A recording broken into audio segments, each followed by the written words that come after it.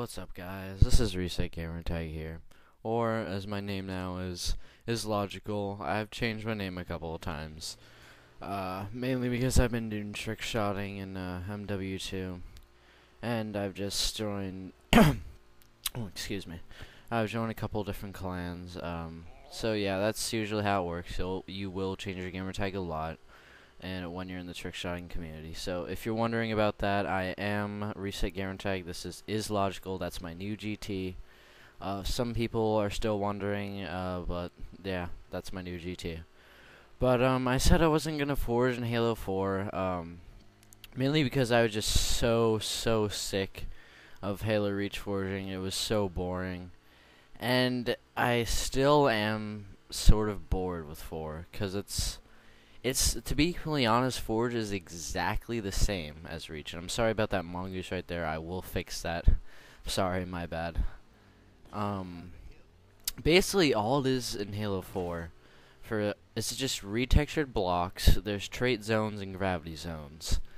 And there's magnets, which magnets are a huge negative because all the new forgers are going to use them and they're just going to become good in a really cheap way. So I don't really like that at all. And also there's no precision forging, which is a huge thing. Because um you can't move the blocks up and down really slowly. So it makes it really really annoying, but I do have my techniques to get around that. There are still like inclining and turning consistency wise, this map's okay. It would have been an okay map in Reach. It's still for Halo 4 I think it's pretty good. Uh, don't go download it. The map is called Uncharted, and it's by me. So on my GT is logical, is capital I space uh, capital L for logical, and yeah, you'll find it on my file share. If you guys don't know how to make uh, race tracks, because his uh, frickin' 343 didn't put race in there, fantastic. Uh, all you have to do is download um, the race tracks game type from no, excuse me again. From Master Hippie. Uh, I have it on my file share as well, so you guys can just go get off of my file share.